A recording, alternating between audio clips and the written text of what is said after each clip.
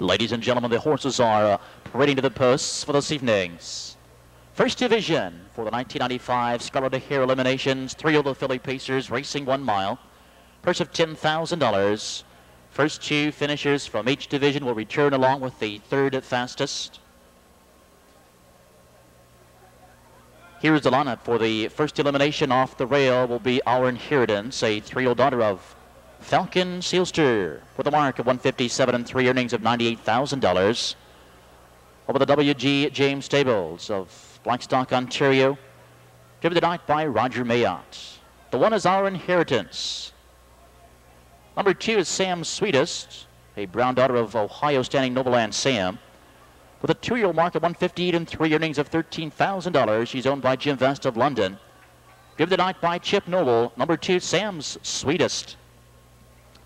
Number three, TM Good Time Woman, a, Bay daughter of Ohio standing merger, owned by Tom and Marcia Janecki of Perrysburg, Ohio, with a two-year-old mark of 201 and 2 at Raceway Park, earnings of $9,000. Driven tonight by Jim Mullinex, the three TM Good Time Woman. Number four is Keystone Mia, a Bay daughter of Warm Breeze, with a two-year-old mark of 156 and 1, earnings of $75,000. Home by Judith Davis of Blairsville, Pennsylvania. Dick Stillings driving tonight on the four Keystone Mia. Five is Hattie, a Bay daughter of Abercrombie, with a two-year-old market 155 and three, earnings of nearly a quarter million dollars. Home by Richard Staley of Los Angeles, California, driven tonight by D.R. Ackerman. The five is Hattie. Number six is Light on her feet, a Bay daughter of Falcon Seelster with a three-year mark of 157 and one, earnings of $18,000. She's owned by Stuart Coleman and Goldsmith of Florida and Kentucky. Driven tonight by Dave Miller, it's the sixth light on her feet. Number seven, Armbro Nadia, Bay daughter of Jate Lobell, with a two-year mark of 157 and one, earnings of $41,000. Over the Jack Darling Stables, Smith and Smith of Ontario, Canada. Jeff out driving the seven, Armbro Nadia. Running out the field for the first elimination, number eight, Fittingly. Here is another Bay Daughter of Falcon Seelster with a three-year mark of 158 and one, earnings of $13,000. Over Lewis Patrick and Paul Phillips of Ohio. Dave Palone driving number eight, Fittingly. First Division three-year-old Filly Pacers are on behind the gate.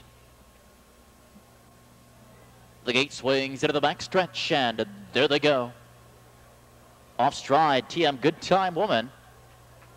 And they're off. The four Keystone Mia is first to leave, and Hattie alongside came with her second.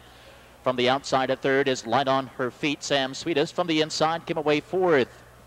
Early five comes Armbro Nadia to the inside, pacing a sixth. It's Our Inheritance. To the inside, a seventh. It's Fittingly, and far back the trailer TM Good Time Woman. Nearing that first quarter mile marker, and Stillings has Keystone Mia on the front leading the way, but here comes Light on her feet. Rushing quickly to take the lead at the first stop, a quick 27 and 4, and the six light on her feet, surging to the front, will take command. Keystone Mia will tip right back to the outside to retake the lead, and Keystone Mia charging to the front, zipping up, will take command. Inside, yielding second, it's light on her feet. She's behind heavily favored Keystone Mia now followed by Hattie, who's racing a third. And here comes Armbro Nadia, searching desperately for live cover. Is first up on the outside, racing a fourth, followed closely, five by Our Inheritance. And Sam Sweetest is now shuffled back sixth on the rail. They reach the half in 58 and 3. Rounding the turn and down the backside they go, and it's Keystone Mia back on top. She's reclaimed the lead by a length and a half. And Armbro Nadia is first up on the outside, racing a second. Light on her feet is now locked in a third. Hattie locked in a fourth. Outside our inheritance. Gap in the cover badly is fifth. Sam Sweetest saving ground a sixth. Fittingly alongside is seventh as they reach the three quarter mile marker. 127 and 1 and on the front. Keystone Mia continues to lead now by two. Light on her feet. Fighting Daylight is chasing a second. Hattie slipping up the inside, pacing a third as they turn for home. Less than an eighth of a mile to go, and down the stretch they come. Keystone Mia looking strong by two. Light on her feet to the outside is coming to her. Here comes Hattie, three across the track. It's still Keystone Mia. Hattie the outside, light on her feet between them. Two at the wire in 155 and four. The photo will be with the four. Keystone Mia and the six, Light on her feet.